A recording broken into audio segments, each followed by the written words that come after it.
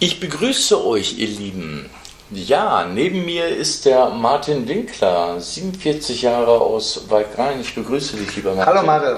Schön, dass du heute mal für mich und meine Zuschauer Zeit hast. Und ähm, ich finde, du hast da eine sehr, sehr interessante Geschichte zu erzählen. Äh, das Thema ist heute, äh, kann Cannabis Krebs heilen? Ähm, wir kennen uns ja schon ein bisschen länger aus der Aktivistenszene. Ähm, erstmal ähm, interessiert mich so ein bisschen über deine Person. Das heißt, was hast du eigentlich sonst gemacht? Ähm, bist du jetzt, ähm, erzähl mal so ein bisschen aus dem Leben sozusagen. Naja, ich habe in Salzburg gearbeitet, beim Magistrat, bei der Müllabfuhr. Mhm. Da bin ich zehn Jahre dabei gewesen. Und dann habe ich halt momentan, irgendwann hat es mir aus dem Leben rausgerissen, wie die Diagnose Krebs gehabt Dann ist momentan einmal kurzfristig einmal bergab Wie hast du die bekommen? Durch Schmerzen oder einfach so? Naja, ich habe schon lange in mir gespürt. Ich habe immer geglaubt, ich habe eine Verkühlung und ich habe es einfach gemerkt durch den starken Harndruck, den was ich verspürt habe und dass, dass das immer schlimmer geworden ist, bis dass ich halt zu den Ärzten gegangen bin und dann die Diagnose Krebs festgestellt worden ist. Okay. Ja, dann ist es so weitergegangen, dass ich halt noch sämtliche Chemos gemacht habe, Bestrahlung und alle drei Monate habe ich Hormonspritzen gekriegt. Das heißt, wie, ähm, also direkt nachdem das festgestellt wurde, hast du gesagt, um Gottes Willen, äh, Ärzte haben dir vorgeschlagen, du musst jetzt Chemo machen oder, oder wie ist das genau gelaufen? Oder hast du gesagt, ja, hier mach Chemo, ich habe Krebs oder ja, man kann sich das schlecht vorstellen. Wie, wie ist das? Naja, da ist fällt schon mal ein Stück vor der Welt zusammen, weil man einfach nicht damit rechnet und man gibt die ganze Verantwortung dann in die Ärzte, weil man befasst sich weder mit dieser Krankheit oder sonst was. Ich bin in der Blüte vom Leben gestanden, habe mich gesund gefühlt, bis auf das, dass ich halt die Verkühlung, was ich glaube, habe in mir drin habe, bis das das festgestellt worden ist, ist eh relativ viel Zeit vergangen. Das hat auch fast ein Dreivierteljahr gedauert. Und dann ist es aber verdammt schnell gegangen, weil dann bin ich vor der Wahl gestanden, ich bin im Endstadium, sie müssen sofort was machen. Und zum Glück, Gott sei Dank, muss ich sagen, haben sie mich nicht mehr operieren können weil der Krebs so stark in die Organe schon eingewachsen gewesen ist, dass, dass ich aus unheilbar gehalten habe. Ich muss jetzt auch mal einlenken, äh, der Martin war bei mir vor, ich glaube, etwas über einem Jahr haben uns äh, gesehen.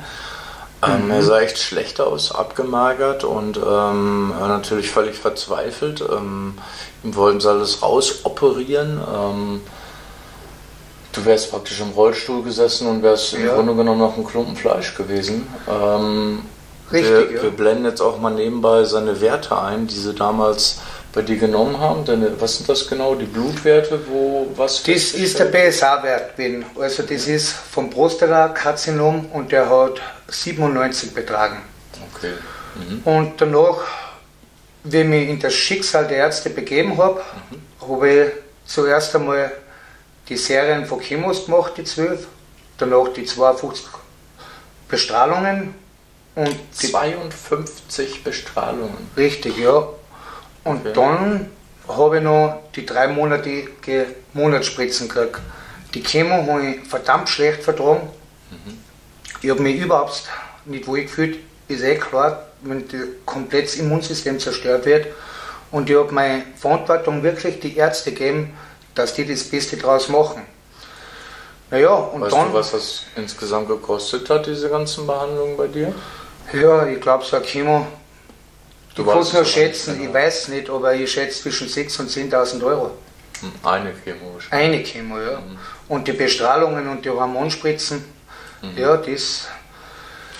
Okay, das hat dir also nicht gut getan. Ähm, ja, sind dann, hast du dann danach, ist dann eine Besserung ähm, eingetreten nach den ganzen Chemos? Ähm, was ist genau passiert?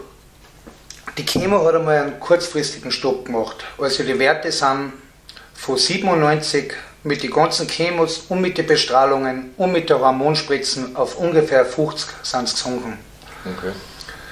Und dann war es bei mir so gewesen, dass mir gleich die nächsten Chemos wiederum verordnet worden waren. Und dann habe ich gesagt, aus, dann lebe ich lieber ein halbes Jahr noch und genieße das. Okay, es ist meine Entscheidung und das hat einmal ein paar Wochen gedauert. Ich habe einfach nicht gewusst, okay. was ich machen konnte. Dann habe ich mich intensiv, intensiv mit alter Naturheilkunde befasst und dass es auch außer der Schulmedizin noch natürliche Heilungsmethoden gibt. Und das war im Prinzip ein Experiment. Mhm. Aber ich habe mir das Wissen eben durch Rick Simpson und durch andere habe mir das angeeignet und habe das Experiment einfach gestartet. Was genau für ein Experiment? Was hast du gemacht? Mit Cannabis nehme ich an. Also in erster Linie habe ich mal geschaut, was ist für meinen Körper das Beste, dass das Immunsystem auffährt. Mhm. Dazu gehört in erster Linie mal das OPC. Und da möchte ich jetzt noch hinzufügen, ich mache jetzt kein Werbeding für Robert Franz oder sonst was. Es geht da nur um den Inhaltsstoff und das ist OPC, das ist ein Traubenkernextrakt aus den Weintrauben und der macht das Blut dünn. Okay. Und wenn das Blut dünn ist, werden die ganzen Organe viel besser durchblutet, ja. ist natürlich normal und natürlich erfolgt eine viel bessere Entgiftung. Du baust auf jeden Fall dein Immunsystem auf. Du baust es auf durch die höhere Durchblutung. Und ja. durch das, dass das Blut dünn ist, durch den Traubenkernextrakt, das ist 20 Minuten nach der Einnahme schon messbar, kann man viel schwerer an Herzinfarkt oder einen Schlaganfall kriegen. Mhm. Die Nummer zwei, das was sehr unterschätzt wird, was die Grundsäule von der Gesundheit ist, ist die künstliche Sonne. Mhm. Vitamin D3. D3. Und das haben wir in Europa viel zu wenig. Aus dem Grund gibt es auch in äh, Afrika oder in die Länder, wo eine hohe Sonneneinstrahlung ist, kein Krebs, keine Osteoporose und gar nichts. Ja. Ich habe mich intensiv mit dem Thema, Thema beschäftigt und nach der Chemotherapie sind meine Knochen fast Bresel drin. Mhm. Also Osteoporose, alles habe ich gespürt. Durch Vitamin D3, die künstliche Sonne, durch K2, in, in Verbindung mit K2, kann man wieder Kalzium und Magnesium in Knochen einlagern und innerhalb drei, vier Monate hat sich die Knochendichte bei mir wieder enorm verbessert. Ich habe nur wo Anschlagen brauchen und ich habe schon eine Stauchung gehabt. Zur Information, also die Europäer müssten sich ungefähr ja, ein bis zwei Stunden täglich nackt in die Sonne legen, wobei wir Europäer leider nicht durchgehend Sonne haben. Richtig. Schon mal nicht so lange. Ähm, ja, und somit haben eigentlich ähm, 80 bis 90 Prozent äh, einen ähm, starken D3-Mangel. Ja? Sonnenmangel. Ähm, bis zum 30. Lebensjahr kann man das noch gut ausgleichen. Ab dem 30. Lebensjahr äh, sagt das teilweise rapide ab. Richtig. Ähm, wie der Martin sagt, kann man das dann durch, das sollte man allerdings mit hohen Dosen angreifen. Ne? Apotheken verkaufen oft 400 Einheiten. Ähm, ich empfehle immer Leute, die Depressionen haben oder solche Sachen, dass man da wirklich mit äh, Tausender Einheiten bis 2000er Einheiten rangeht. Viel zu wenig, Mario. Dann aber 10 bis 15 Tropfen. Ja. Man nimmt, äh, als gesunder Mensch sollte man einen Spiegel von 40 haben. Hat man Krebs, dann sollte man den Spiegel bis zu 100 also erhöhen. Das bedeutet, dass man mindestens einmal, wenn man Krebs hat, ein bis zwei Wochen mit 50.000 Einheiten, das bedeutet okay. 50 Tropfen in den Krebs einfahrt, damit dass einmal die Organe ja. alle nach oben gefahren werden und dass die richtig zum Arbeiten anfangen. Okay. Denn dein Immunsystem, wenn er einen niedrigen Vitamin D-Spiegel hat, sagt er, du schläfst, mhm. du schläfst, du arbeitest nicht. Mhm. Wie eine Pflanze, die was im Keller steht, die wird bald einmal krank werden und werden nicht mehr gedeihen. Und wenn es Sonne hat, dann läuft die Photosynthese. So läuft beim Menschen genauso ja. der ganze Organismus und das Immunsystem fährt sich auf Hochtouren auf. Ja, in Krebsfällen ist es wahrscheinlich noch, noch besser höher zu dosieren, auf jeden Fall. Auf alle Fälle. Aber in der Hinsicht, das sind alles Präparate, damit das, das Immunsystem auf Hochtouren fährt und natürlich bei der Hilfe in Krebs zum Bekämpfen durch einen Hauptwirkstoff enorm unterstützt. Mhm. Speziell wenn man Chemos gehabt hat, mhm. Möchte an jeden den Rat geben, da wird immer gesagt im Krankenhaus, es dass du stark bleibst oder sonst irgendwas. Ich habe mich informiert über das Thema, habe das selber gemacht. Ich habe bei den Chemos nur Wasser getrunken. Wenn man isst und man kriegt die Chemo, das Gift wirkt genau vier Stunden. Also, und danach ist nur noch Gift. Was und hast du nach der Chemo gemacht? Wie hast du dich da ernährt? Nein, es war einfach, die Hauptzeit ist die Chemo. In den Tagen, wo man die Chemo be bekommt und wenn man isst, befördert man durch den Blutkreislauf, wenn man vom Darm alles wieder in den Körper zurück. Und wenn man aber nur Wasser trinkt, sind die Nieren, die Leber, die, Organ die ganzen Organe entlastet und die Entgiftung kann auf Hochtouren laufen. Und wenn ich aber was isst, so befördere ich mich, also mein, das, das Gift. Ach, schwieriger für den Körper. Ja, viel schwieriger, viel schwieriger. Und deshalb ist es auch wichtig, dass man ganzheitlich den Körper nach einer Chemo wieder aufbaut. Durch Darmsanierung, durch Vitamin D3, dass der Mangel einfach in keinster Weise, der Körper in keinster Weise wo einen Mangel hat. Um Was hast du da noch? Das ist Quercetin. Das ist speziell für den Krebs unterstützend. Das ist ein Wirkstoff, der was den Krebs hemmt.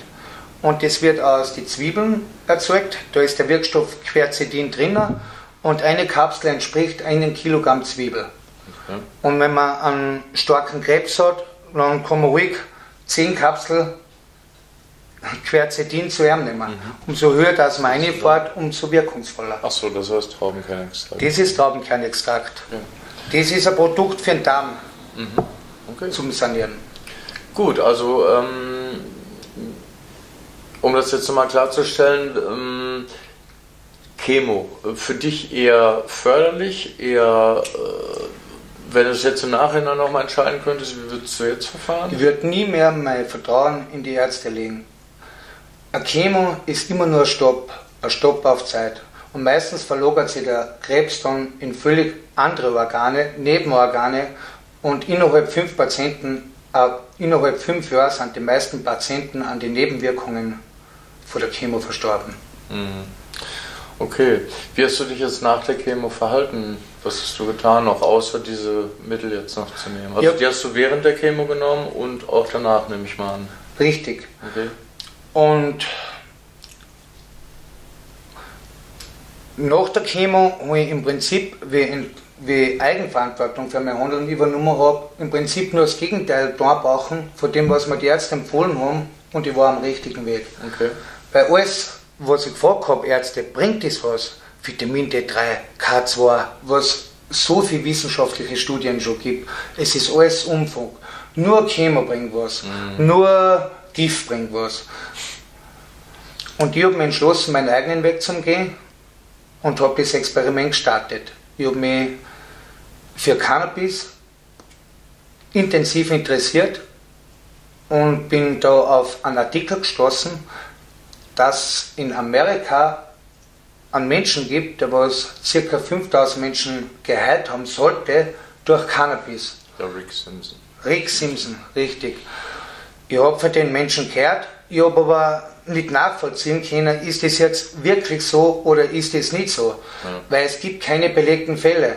Ich bin der erste belegte Fall, der was das dokumentieren kann, da wo ich alles vorlegen kann und mit den Ärzten begleitet haben dabei und der was wirklich weiß, das Rick Simpson Öl ist der Hauptwirkstoff, der was den Krebs besiegt. Das ist super. Wie lange ähm, wie genau, also du hast selber Pflanzen angebaut, ähm, du hast selber daraus dann mit Alkohol Öl gemacht. Ähm Zuerst habe ich mal intensiv informiert, wie wirkt das Rick Simpson Öl laut Rick Simpson, habe mir mal da richtig eingelesen mhm. Und dann habe ich die Pflanzen illegal, wie man so sagt, produziert für mich, für meinen Eigengebrauch damit, dass ich das Experiment starten kann, dass ich mich selber heile. Ja, okay. Hast du vorher noch geguckt, ähm, was da für eine Pflanze für dich in Frage kommt oder hast du einfach irgendeine Pflanze genommen? Na, das ist auch ganz wichtig. Ich habe geschaut, dass ich eben, weil man nicht weiß, was für Pflanze speziell auf dem Krebs jetzt mehr Inhaltsstoffe drin habe, jetzt habe ich immer geschaut, dass ich Pflanzen nehme, die was Indica sind, mit einem hohen medizinischen Wert, wo das Verhältnis zwischen CBD und DHC ausgewogen ist. Okay. Und habe viele verschiedene Sorten hergenommen. Also mindestens fünf oder sechs verschiedene Sorten, damit dass das ganze Spektrum von Krebs abgedeckt ist. Okay. Ähm, wie viel ähm, Rohmaterial brauchtest du, um die für dich richtige Menge an Öl zu machen, die du brauchtest für deine Heilung? Also, wenn man jetzt das ausrechnet, man fängt im Tag mit einer Kapsel an, da wo ein Gramm drin ist, das was ich mir anal und oral verreicht habe, auf eine erhebliche Menge, weil man kann bedenken, dass ein oder zwei Kapsel ein Pflanzen ist. Mhm. Also man sagt eigentlich, glaube ich, dass du ähm, 10%, also für 1 Gramm brauchst du praktisch 10 Gramm Blüten. Ja? 10 Gramm, ja. 10 Gramm für 1 Gramm hochwertiger Medizin. Mhm. Und ausschlaggebend bei der Heilung von Krebs ist eben, dass man so, sowas nicht am Schwarzmarkt kauft, das was verunreinigt ist und keinen mhm. medizinischen Nutzen hat, mhm. sondern dass das wirklich eine reine hochwertige Qualität ist. Hm. Okay, das heißt also, wie viel ähm, du hast also mit 1 Gramm oder teilweise sogar 2 Gramm anal und oral am Tag gebraucht?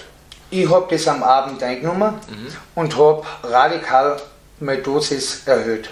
Okay. Weil laut Rick Simpson kann man je nach Verträglichkeit umso mehr, umso dass einem entgegengesetzt wird, umso besser. Warum das so ist, ähm, ist auch ganz einfach. Der Körper nimmt sich das, was er braucht und scheidet den Rest einfach aus. Richtig. Ja, und deshalb auch muss es jeder einschätzen können, was er eigentlich verträgt. Und ich glaube, du äh, warst da sehr, ähm, wie sagt man, aufnahmefähig. Ne?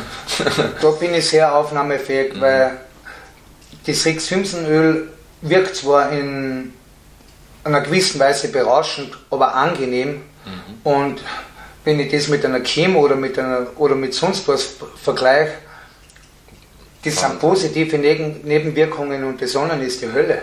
Ja, ja ähm, wie lange hast du dann praktisch ähm, diese Menge an, an Ölen eingenommen? Wie ging es dir dabei vor allen Dingen äh, in dieser Zeit? Wie lange war das? Drei Monate?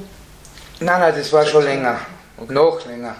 Also ich habe angefangen mit dem Öl, mhm. habe geschaut, dass ich Sport mache. Ich habe nebenbei erbrochen, aber ich habe nicht aufgegeben. Ich habe geschaut, dass ich Luft wieder reinbringe in meine Lungen, dass ich den Dreck rausschwitze und ich bin mein Immunsystem steil noch bergauf gefahren. Super. Wie lange? Also das, ich habe mit meiner Medizin, wie ich es gerade geerntet habe, vielleicht einen Monat begonnen und ich habe gemerkt, es fängt voll zum Wirken an, es geht besser. Leider zwischendurch dann eine Hausdurchsuchung gehabt. Okay. Und das war Was dann ja nicht lustig ist. ein Riesenproblem, weil meine ganze Hoffnung in dem Experiment stand, also gesteckt ist und mir meine ganze ja, lebensnotwendige Medizin genommen worden ist. Jetzt ist natürlich der Wert wieder schlechter geworden, selbstverständlich. Messbar, echt? Messbar. Ich war draußen bei der Polizei, habe das erklärt, dass mir verdammt scheiße Man geht. Müsste den eigentlich wegen Körperverletzungen anzeigen, wenn das messbar ist, oder? Es ist es so. Es ist, für mich ist es gewesen ein versuchter Mord. Mhm. Ein versuchter Mord auf meine Gesundheit. Mhm. Weil wer will mir verbieten, dass ich lebe? Und ja. ich lebe lieber in der Hinsicht. vor allem, wenn es auch nachweislich besser wird, ja. Ich mein und die Ärzte haben es bestätigt. Und wer will mir das verbieten? Es gibt kein illegales Leben, nur weil eine Pflanze, eine Pflanze benutzt, die was mir hilft. Das ist nicht mehr wie ein Brennnessel oder ein Löwenzahn. Ja. Das ist nur dämonisiert worden. Und warum? Weil es so eine enorme Heilkraft hat. Ja weil sie ohne wie Pharmakonzerne damit bereichern. Das heißt, du hast dich also nicht unterkriegen lassen, hast weitergemacht, weil es schließlich um Leben ging? Auf alle Fälle, weil lieber illegal lebt, als wer legal stirbt. Ich bin nach Hause gefahren zu den Polizisten und habe gesagt, ich möchte meine Medizin wieder haben. Ich habe gesagt, ich will die wieder haben. Und, und, und dann habe ich gesagt, dass ich mir jetzt ein Öl kaufen habe müssen um 1000 Euro. Und das hat mir noch geholfen, dass ich die Zeit überbrückt habe, überbrückt habe, bis dass ich wieder meine paar Pflanzen gehabt habe, dass ich mit der Dosis einfahren habe können. Mhm. Und dann bin ich wirklich wieder stark eingefahren, bis zu sechs Kapseln Tagesdosis, das sind 6 Gramm, hochwertigste Qualität. Und dann habe ich rapide gemerkt, wie die Werte gefallen sind, wie sich die, der, mein Gesundheitszustand verbessert hat. Ich bin in der Nacht, hat mir die Hüften so weh, um Anfangszeit, durch die Chemo, die was mir die ganzen Knochen zersetzt hat, die Osteoporose, und das ist rapide besser geworden. Schön. Und wenn man sich heute meine Blutwerte anschaut, ich habe Blutwerte wie ein, ja, du hast mir gezeigt, wie ein Kleinkind. Ja, Kleinkind. Ja. Und mein Wert vom BSA ist auf 1,12 oder 1,37, ich weiß jetzt gar nicht mehr, aber auf alle Fälle weit unter der Grenze, was ich als gesunder haben darf. Super. Herzlichen Glückwunsch erstmal dazu. Ja, danke schön. Schön, dass du noch unter uns warst ähm, und dich nicht davon abbringen lassen hast und einfach weitergemacht hast. Ich denke mal, das kann vielen Menschen Kraft geben und ähm, Zuversicht geben, dass sie es vielleicht so auch schaffen und sich nicht unterkriegen lassen von irgendeinem Gesetz, äh, wenn man der Meinung ist, es kann einem helfen und das Gefühl hat und auch noch die Werte und Bestätigung hat, vielleicht von begleitenden Ärzten. Äh, spricht einfach nichts dagegen, kann einfach nichts dagegen sprechen. Und für das will die Informationen ausbringen. Weil es steht jedem Menschen zu, dass er sich mit der Medizin, die was er glaubt, am besten heilt, dass er sich mit der versorgen darf. Und es ist in der Hinsicht ein Verbrechen vom Staat, Menschen eine lebensnotwendige Medizin aus wirtschaftlichen Gründen vorzuenthalten. Und das ist meine Meinung. Sag mal, nimmst du das jetzt immer noch ähm, weiterhin zur Vorbeugung oder Nachbeugung oder wie auch immer oder Nachwirkung? Meiner Meinung ist das immer wichtig, dass man eine Nachsorge und eine Vorsorge macht. Weil dann kommt es gar nicht so weit. Solange dass man keinen Mangel hat im Körper, wird man keinen Krebs kriegen. Wenn das Immunsystem funktioniert, passiert das nicht. Aber wenn man das schon mal übersehen hat und man hat einmal einen Krebs gehabt, dann ist es niemals eine Garantie, dass er nicht mehr zurückkommen kann. Ja. Und darum macht man automatisch jetzt eine Nachsorge und gibt sie für ein paar Monate nochmal das Öl, dann wird da meiner Meinung nach nichts mehr passieren. Hey, du siehst auf jeden Fall gesund aus und ich wünsche dir noch ganz viel Glück und ganz viel Gesundheit für deine Zukunft und ich hoffe, wir sehen uns bald mal wieder. Ja, Mario. Danke, Martin, dass du uns das erzählt hast. Danke, Mario. Alles Tschüss. Gute. Tschüss.